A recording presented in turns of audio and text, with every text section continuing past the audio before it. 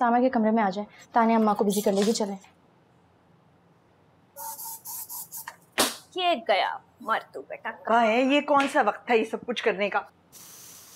जाओ जाके सामिया को बुला के लाओ उसको को के आके मदद करे। क्या हो गया अम्मा? दुल्हन से काम करवाएँगी आप।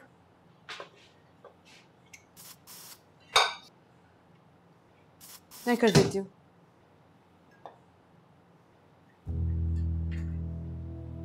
सामिया तुम्हें क्या हुआ है? रंग पीला पड़ रहा है। उपटन का रंग चढ़ रहा है। और क्या हो रहा है? तानिया तुम अपना मुँह कभी बंद भी रखा करो। या हर वक्त खाने के लिए चलता रहता है या बोलने के लिए? एक कदम बाहर नहीं रखोगी तुम। अब तुम इस घर के सारे कॉकरोचेस और उनकी आइंदा आने वाली नस्लें सबको मार के यहाँ से निकलोगी।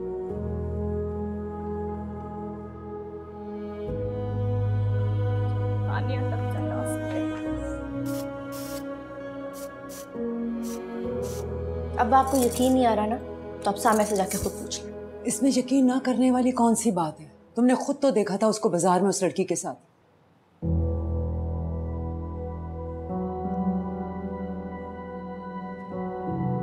ये किस दुराहे पे लाके खड़ा कर दिया है तुम्हारी माँ ने बच्ची को?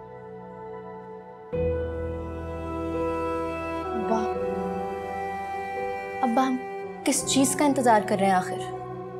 ये सामिया नहीं चाहती क्या? कोई कदम उठाए वो कहती है कि अगर इस वक्त हमने इनकार किया तो इसका असर तुम दोनों की ज़िंदगी में भी पड़ेगा। और तुम्हारी माँ से भी बर्दाश्त नहीं होगा। अब्बा कुछ नहीं होगा। हम संभाल लेंगे अम्मा को। आप तो हमारा साथ देंगे ना? मैं तो पहले इस शादी से खुश नहीं हूँ और अब तो किसी और जवाब की ज़रूरत भी नहीं।